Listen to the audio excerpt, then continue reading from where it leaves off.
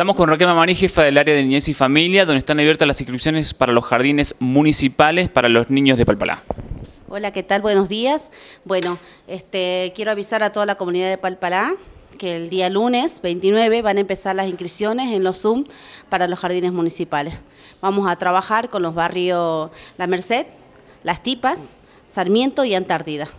¿En qué consisten los requisitos y hasta qué fecha tienen los padres para acercarse a inscribir a sus chicos? Bueno, los requisitos son, eh, para el padre, en todo caso el tutor, sería fotocopia de DNI y CUIL. Para los niños, fotocopia de DNI y mm, que vayan haciendo ya el, eh, fotocopia del calendario, perdón, de vacuna. Los horarios de inscripción y son en los barrios y para chicos de qué edades va a haber diferentes salas y... Bueno, las salitas eh, son a partir de los niños de 3 años a 4 años. Este, se van a hacer las inscripciones a partir de las 9 de la mañana, el personal ya va a estar a las 8 y mm, van a ser hasta las 12 y media.